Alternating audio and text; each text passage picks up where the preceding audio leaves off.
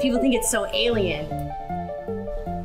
This is stuff that's been around for hundreds of thousands of years. Right. It definitely Yes. feels alien. Yes.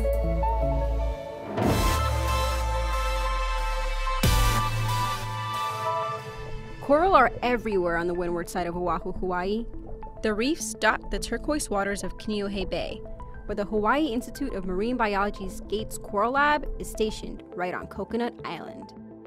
On a recent cool summer night, beneath the new moon, researchers were busy capturing little coral babies. They want to learn more about these mysterious creatures in hopes of finding the secret to breeding a sort of super coral that will survive the drastically changing climate. Predictions from one study suggest nearly all coral reefs will be threatened by 2050 due to climate change. Warming waters can cause coral to bleach. This means that the coral expels all its algae and turns white. Eventually, the coral can die. Scientists at the Gates Coral Lab are studying coral species that have survived bleaching beside other dying colonies in an effort to create super coral. Kira Hughes is the manager for the Coral Assisted Evolution Project. She mostly investigates how to breed super coral. And that's our big question is why would one bleach right next to one that didn't bleach? So what we're doing is identifying those more resilient colonies, the ones that don't bleach, and then trying to reproduce those or condition those further to create supercorals. So we're doing human-assisted evolution, which just means that we're trying to speed up the process. Forming events are coming too frequently and lasting for too long for them to be able to survive.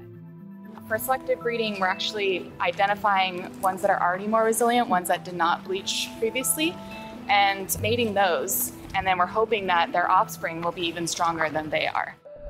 Situated in the middle of Kaneohe Bay, the lab is the perfect place to dive into the science of coral. Crawford Drury is a postdoctoral researcher at the Hawaii Institute of Marine Biology. He looks for genetic markers that could be behind the resilient coral. During a bleaching event, we can go out and tag a bunch of corals. We're already here. We can watch what's happening and monitor it. Kaneohe Bay is a really special place in the context of uh, resistant corals. So having that as a resource to study and branch off from is, is a great opportunity. The bay is rich with tough coral, and researchers wonder if its history has contributed to the resilience of the creatures. The bay's been through a lot runoff, pollution, invasive algae. After all that bad luck, perhaps only the strongest coral have survived. So we're taking advantage of the fact that we already have these stress-resistant corals in the bay and trying to see what's going to happen as we project this into the future, as we reach another generation that is having to deal with perhaps even worse conditions. Because they're right next to each other, we think that all of the other environmental variables that go into kind of dictating coral health are probably the same, so that's a really strong indicator that the difference is inside the coral animal. As rough and rocky as coral's exterior might seem, they're actually quite delicate organisms. Their survival relies on a fine dance between the different creatures that make up the coral. Polyps and a form of algae live inside the rocky exterior of the Montipora capitata coral. The algae share a symbiotic relationship with the coral by producing the energy it needs to survive. If the coral is stressed by warming, it will expel the algae and is left bleached. This makes the coral vulnerable, as the animal has lost a major food source. The coral might die, though not immediately. Scientists use sophisticated microscopes to observe this process with precision. Ariana Huffmyer is a PhD candidate with the Institute, where much of her work involves this advanced laser microscope. So one of the things that we can do with this microscope is um, put a coral underneath the scope and raise the temperature on the scope itself, and we can simulate a bleaching event and watch how they respond. The healthy Montipora here on the right, you can see all the symbionts in red and the coral tissue is really bright and healthy. And then over here on the left, you can see that most of the symbionts, there's still a few left, but most of the symbionts are missing from that tissue. Exactly. So you can't understand a coral reef without understanding individual coral colonies, and you can't really understand how a coral colony is behaving unless you look at the individual animals that make up that colony. So to understand how an entire reef all across Hawaii or across the Great Barrier Reef is responding to stress, we have to start at the level of the animal themselves. A Montipora capitata coral is a hermaphrodite.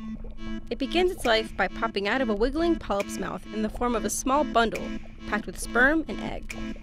The bundle eventually breaks to activate fertilization. From there, a larva forms resembling a swimming maggot. This larva swims around until it matures. It finds a place to settle, squish down, and metamorphosize into a new polyp that forms the rocky exterior of the coral. After hundreds of years of this cycle, coral form colonies. In thousands of years, colonies become reefs. But it's not just about understanding a reef or a colony or a coral or even individual polyps. Breeding supercoral is also about understanding the youngest of corals and what influences the way they become majestic reefs. What factors affect how they grow, mature, and survive? That's why this lab is gathering coral egg and sperm by the boatload. In order to understand what's going on with coral, you need thousands of coral samples, and this lab is up for the task, even if it means sleepless nights under dark skies. This project is really looking at whether it's possible to scale up this type of sexual reproduction and propagation of corals through sexual reproduction. So we've gathered a ton of bundles from the field, more than we would do for a normal lab experiment. And we're trying to rear them in these much larger tanks so that we can get a higher number of embryos. And then we'll settle all of those once they develop into swimming larvae. Um, and then from there, practice some rearing techniques to see if we can get them to survive for a longer period of time after they've been settled. If climate change continues on its current path, the world's coral reefs will all probably die off. If they're going to be saved, the innovative research done on Coconut Island could be part of the solution. The future might be uncertain, but for the tireless researchers at the Gates Lab, the fight's not over yet.